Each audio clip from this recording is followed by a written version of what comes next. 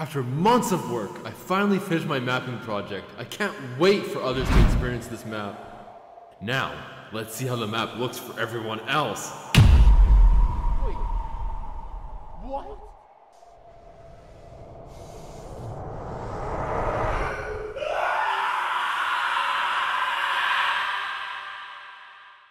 We'll need to download Compile Pal, but honestly, it's more like Packing Pal, as we're never going to use it to compile a map with it. Start by going to this site down in the description and downloading the most recent version of CompilePal. Extract it to a folder that you are sure you will not delete, and not in your Garry's Mod or Downloads folder, you monster. In my instance, I have it in my Maps Tools folder, separate from my Steam and Windows default folders. Now, this is crucial we need to open up the vanilla hammer editor that came with Garry's Mod, not Hammer++. Go and right click Garry's Mod in your Steam library, manage, browse local files. Open the bin folder and locate the hammer application. It should be the one with the hammer icon. Once it fully opens, you can close it. Now download Source SDK 2013 multiplayer from Steam, as CompilePal needs it to target something from the game specifically. We now want to open CompilePal, which should be located in the folder that you extracted in the arguably superior location that isn't your Garry's Mod or your downloads folder. Once it's opened, you should be hopefully greeted with a Garry's Mod preset that is directed to your Garry's Mod. If you see nothing in there, then we need to create it manually. If you do see Garry's Mod, and it does direct to your Garry's Mod directory, you still need to edit some things inside the game selector.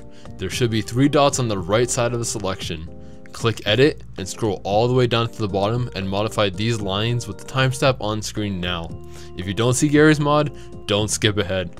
Click the plus sign on the top right corner of the game selector screen. Here the game configuration program window opens up and we need to fill some of these lines.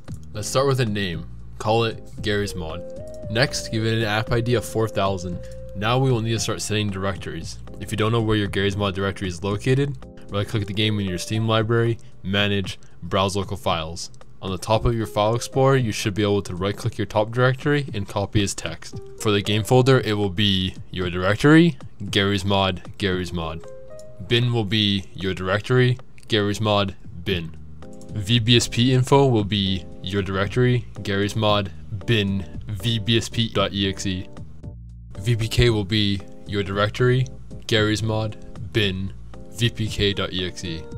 Your map folder will be your Garry's Mod map directory, which will be your directory, Garry's Mod, Garry's Mod, maps. This is where people who have had Garry's Mod show up automatically should be at right now. We're almost done with the manual creation.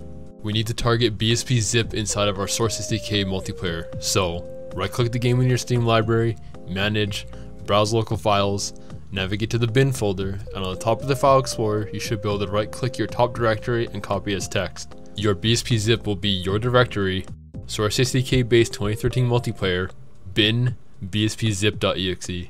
There is probably a lot of empty spaces for those who did it manually. Don't worry, as we don't need them, as those spaces are meant for compiling maps with CompilePal. Since that is beyond the scope of this video, we're going to ignore them. Now that we got all of that, we now need to create the configuration that we will be using to pack all the custom content for our maps from here on out. At the preset column, click the plus symbol and give it a name that signifies that this is a packing preset. I will call it pack in capital letters. The next column is the processes from top to bottom that the software will execute in order. Make sure that the preset that we created is highlighted in red and click the plus symbol for processes and add pack. We also want to add BSP zip as a process, so add that as well. Next, make sure the pack process is selected and now click on the plus symbol for parameters. Click on exclude VPK files as this will stop native Half-Life 2 assets from packing into your map. We're going to add 5 of these, so keep clicking the plus symbol for parameters, until we have 5 of them in the list. The first one is going to be your Garry's Mod directory VPK. This is located in your directory, Garry's Mod, Garry's Mod, Garry's Mod underscore duro.vpk. Next is going to be a bunch of source engine VPKs. They are as followed your directory, Garry's mod, source engine, hl2 underscore misc underscore dir.vpk, your directory, Garry's mod, source engine, hl2 underscore sound underscore misc underscore dir.vpk, your directory, Garry's mod, source engine, hl2 underscore sound underscore vo underscore english underscore dir.vpk, and your directory, Garry's Mod, source engine, hl2 underscore textures underscore dir.vpk. If you want to exclude Counter-Strike source from packing to your map, and honestly, most players should know to have their Counter-Strike source mounted and installed in their Garry's Mod at this point, add another exclude VPK and include Counter-Strike source slash C-Strike slash C-Strike underscore pack underscore dir.vpk. Note that this also works for any other games that you don't want packed into your map, like Team Fortress 2 for instance. Just make sure that you're targeting the VPK that ends in underscore dir and not any of the other VPK files. Next, if you have custom soundscapes in your map, you need to include a soundscape file into the level. Add an include parameter and target your soundscape file. For my Verrückt map, it would be the following. My directory, Garry's Mod, Garry's Mod, scripts, soundscapes underscore gm underscore Verrückt underscore v1.txt. Particles should be packed in automatically if they are in your maps folder inside of your Garry's Mod. If for whatever reason it doesn't find the file, you can manually include it the same way that we've included the soundscape file. We want to end it off with a verbose parameter. This just gives you a list of everything that got packed into the level. This is good for troubleshooting content that somehow got missed in the packing process. Click on BSP zip in the processes, then click on the plus for the parameters and make sure you click on the incompatible drop down list. Don't worry, it is compatible. Add repack first, then add compress after. If an exclamation mark shows up, Ignore it as it will work regardless since we directed it to our Source SDK 2013 version when we set up the game's configuration. CompilePal is using Garry's Mod, so if your custom content is inside your Garry's Mod, it should find it automatically. But since crazy people would do such a practice, and your content is outside your Garry's Mod, I will show you a method on how to mount your custom content correctly using GameInfo.txt. Open up said GameInfo.txt file inside your Garry's Mod Garry's Mod folder, and near the bottom add this line.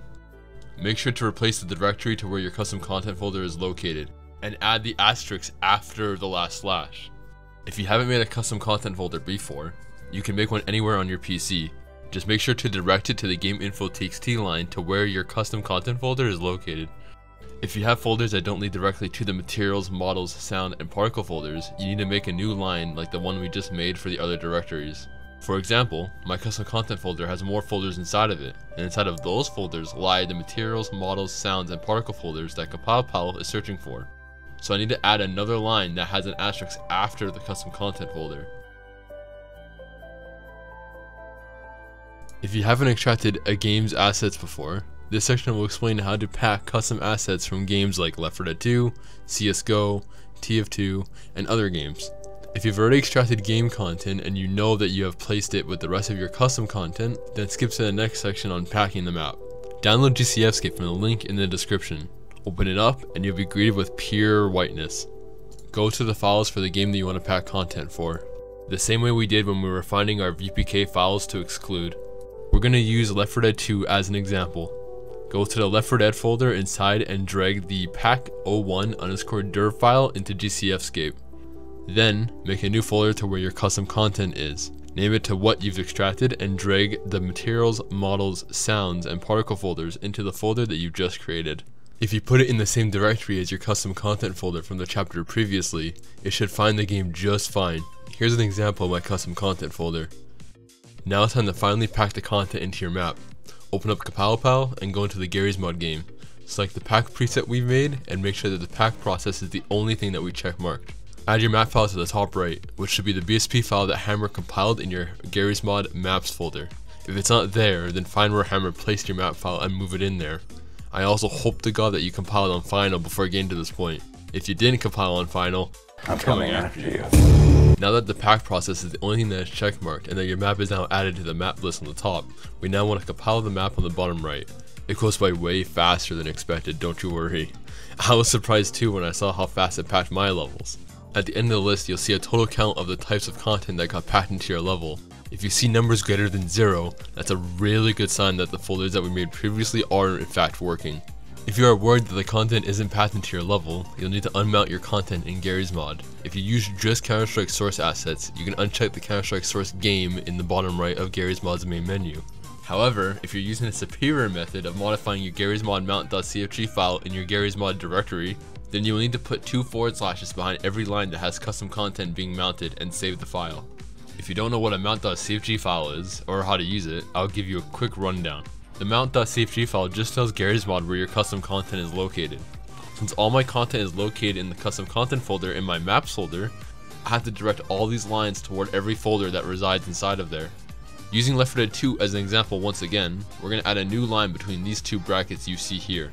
Next, we're going to add two quotes and call it the same name as our folder name.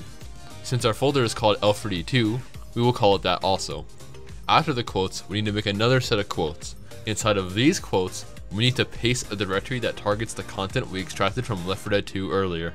Make sure to do this for every new folder you create inside your content folder. If you want to make the mount.cfg file process faster, refer to the FAQ section in the Steam guide down in the description. Future! Future! We are almost done. We just now need to add reflections to the map. You can't generate the cubemaps before packing level because you'll run the risk of having rainbow reflective props on your level. So, if you don't want your map to look like rainbow ponies started barfing all over your models, then do the following. Go into the map after it's been packed with CompilePal and check if you have HDR enabled or disabled. You can quickly see this by opening up the Garry's Mod console with the tilde key underneath the escape key. If it doesn't show up, check your options under keyboard, advanced, and make sure that the enable developer console is ticked. Next, type in mat underscore HDR underscore level. If your number is set to 1 or 2, that means you have HDR enabled. If it is set to 0, then it's disabled. Whatever you're on currently, keep note, as we need to generate the cubemaps for both the LDR version, meaning value 0, and the HDR state, meaning value 1 or 2. Run the console command build cubemaps and your screen should be flashing images on the top corner. This is a good thing. Let it finish until you get back into the game. Once you do, run mat underscore HDR underscore level again, except now set it to LDR or HDR, whatever you're currently not using. So, if you're running mat underscore HDR underscore level 2, set it to 0 and vice versa. Once the game loads back up, run the build cubemaps command once more. Once that is done, your map should have reflection support for both the LDR version and the HDR version of your map. If you can't load into the other versions of your map, or it looks full bright, that means that when you compiled your level, you didn't tell the compiler to compile both lighting variations. In that case, you don't need to pack the cubemaps for the full bright version, but honestly you should have compiled both the LDR and HDR versions of the level, as those who play on LDR exclusively are uh, special individuals. Once you have everything packed and ready, go back to CompilePal and return to the pack section we used before. Once you're there, make sure your BSP map is still added to the top and it's located in your Garry's Mod maps folder. That is very important. Next, uncheckmark the pack process and checkmark the BSP zip process. Run the compiler and be patient as it compresses your map. Once it's done, check the BSP file in your Garry's Mod maps folder and there should be a significantly smaller file size for the map. Now, you can send it off to a server or the Steam Workshop. The map is packed and is on the internet for everybody to enjoy.